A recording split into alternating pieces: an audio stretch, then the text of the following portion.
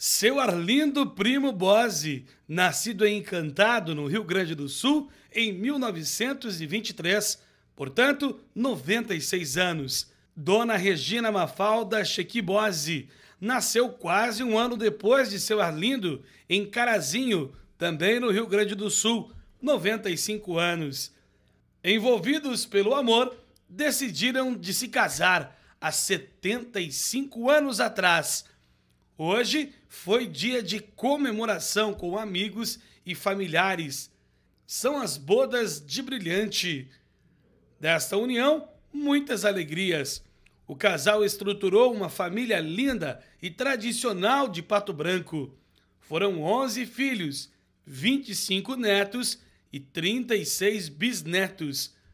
A renovação do casamento ocorreu no último domingo na comunidade de Farroupilha, interior de Pato Branco, onde os pioneiros da família Bose construíram essa história. Parabéns, seu Arlindo e Dona Regina. Saúde para a família. Aê!